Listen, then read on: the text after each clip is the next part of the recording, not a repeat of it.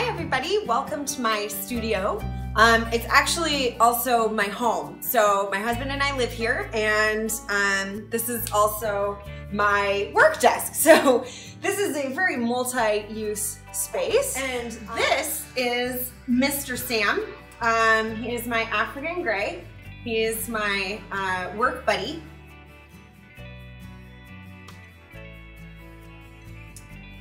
I think I think it was best put by uh, uh, somebody recently that I paint the anima mundi, which means the soul of the world.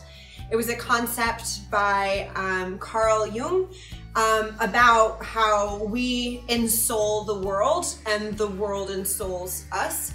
And it shows how we're all one and we're all connected. So I try to portray that in in a lot of different ways, how uh, we are all a part of the a much larger organism.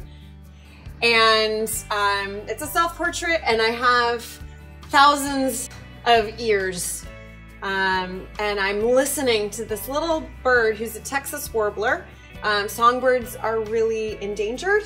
Um, and so I'm listening with all of my ears, my, my actual ears, my animal ears, my um, alien ears, my cosmic multidimensional ears, really hearing um, what this little bird has to say.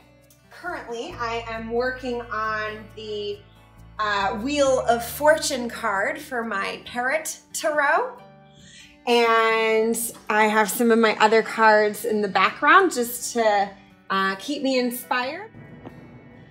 This is a painting I recently uh, finished. I began this in January when the fires in Australia were raging and I was just so overcome with the grief of all of the loss that was happening that seemed like no one could do anything about it and we all just stood by and watched that happen.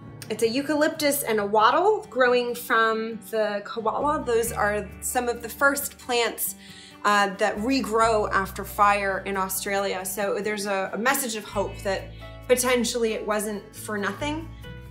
I'm so glad you could join me on this small tour of uh, my creative space.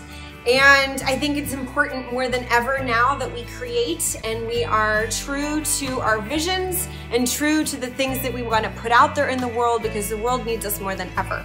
So keep creating, keep the faith, and good luck.